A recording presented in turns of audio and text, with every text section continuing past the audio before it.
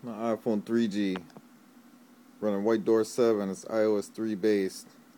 And I tell you what, these guys did an amazing job this time. The only problem is trying to find apps and Cydia tweaks that work on iOS 3. Just gotta find the older versions. Like I found an older version uh, lock info there. That's what you see up there. I'm just gonna show you some of the older version tweaks I found. Really trying to bring this back to life. They did such a good job. See the barrel. Gridlock.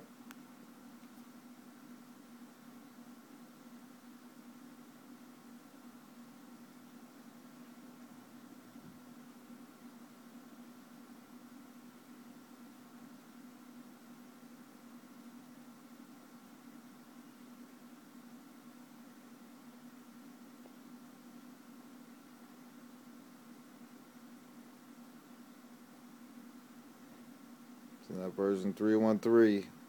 Great job, Whited00r, man. You guys are amazing. Let's see if we can get some more of these older versions, these Cydia tweaks. Even more amazing. Great job, Whited00r.